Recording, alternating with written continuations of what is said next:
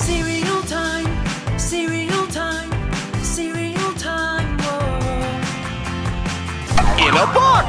Rice Krispies treats, soaked in a crispy cereal What's up cereal heads? Today we're going to talk about Rice Krispies Treat cereal. And yes, I know I've already done a video about this cereal. In fact, you should go watch that original video if you haven't watched it yet. The reason I'm covering this cereal again is because Kellogg's has done the unthinkable and gone and changed the recipe of this beloved classic to make it a much more inferior cereal. It's almost like Kellogg's research and development team is like, hmm, what do cereal heads really want? Let's do the opposite of that and see how angry we can make them. So for those of you who are too lazy to go back and watch that old Rice Krispies Treats video I did, let me breeze through the past before getting back to this current abomination. Rice Krispies Treats cereal was originally released back in 1993. This was the first box for the cereal, you can see from the new label here on the box. And I love this box, it's a cool color and you have the embossed treats and little clusters here on the box. Here's one of the first commercials for Rice Krispies Treats cereal. As you try new Kellogg's Rice Krispies Treat cereal, be warned. One taste is never enough. Yeah, you've tried a lot of cereals before, but none of them had the taste of Rice Krispies Treats in a totally totally crispy cereal. So if you want to scarf them down big time, remember, you're not alone. Kellogg's Rice Krispies Treat cereal, part of this complete breakfast. One taste is never enough.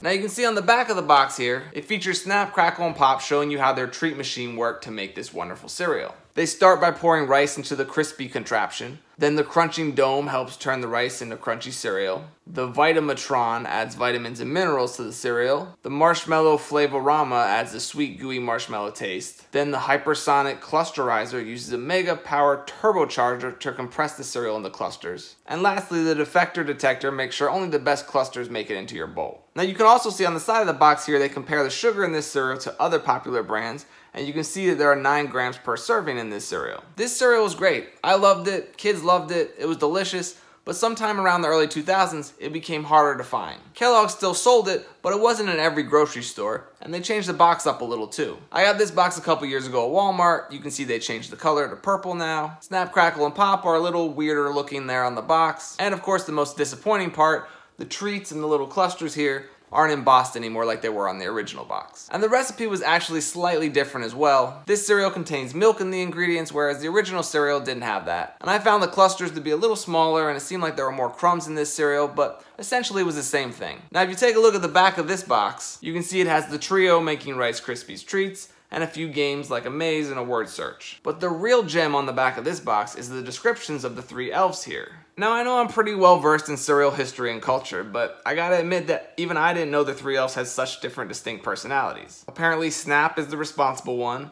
Crackle is the jokester, and Pop is evidently the youngest brother and the center of attention. I didn't know any of this, so I guess you learn something new every day. So this cereal was chugging along for years just fine. It was great, consumers loved it, there was nothing wrong with it. Then this year, Kellogg's decided to give us all the middle finger and say, oh, you like that cereal? Well, now we're gonna ruin it for you. This here is the new box of Kellogg's Rice Krispie Treat cereal, and you can see right off the changes on the box here. First, the treats is just a regular boring font, no embossing, nothing interesting. And Pop here is holding up a sign to let you know there's a new recipe for the cereal. A quick glance of the bowl here reveals that the clusters are gone. Instead, the cereal is just sweetened Rice Krispies with marshmallows. Which, by the way, is an entirely new idea either. Marshmallow Krispies were released way back in 1982. That cereal had multicolored Marbits, and I guess the Rice Krispies weren't sweetened in that version, but it's not like this is a new groundbreaking idea. Let's take a quick look at the back of the box here. It just shows Snap, Crackle, and Pop making Rice Krispies treats. You can see them decorating them in different designs with different add-ons. But let's get right down to it and open this box and see what they've done to this cereal. So here's what a bowl of this new recipe of Rice Krispies Treat cereal looks like. It looks like a slightly glazed Rice Krispies and little plain Marbits. Definitely not as appealing as those little clusters that you used to see when you poured a bowl of this stuff. Let's hit it with some milk and give it a try. I'm so disappointed. It's just not the same. I mean, look, if I never tried the original Rice Krispie Treat cereal, would I still dislike this stuff? Probably not. It's not overtly bad, it's a pretty tasty sweet cereal, but it's just not Rice Krispies Treat cereal. That cereal had the perfect texture. Those clusters were so good, and they were even better when you let them sit in the milk for a little bit. That stuff was delicious, and it actually reminded you of actual Rice Krispies treats. Whereas this version, well, it's just underwhelming compared to the original. And I really just don't understand why they changed it. Was it too hard to make those clusters? Is it just cheaper? Probably, right? I mean, that's gotta be the explanation. Unless there's some evil Mr. Burns type character sitting up in Kellogg's headquarters twiddling his fingers, getting satisfaction out of making us all angry and annoyed with his decisions.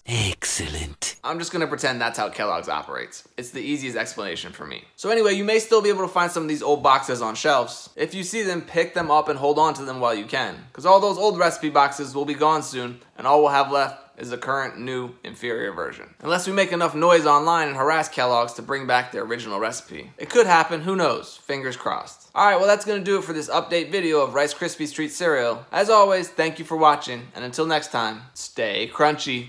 Gotta love the snap, crackle, and pop sound.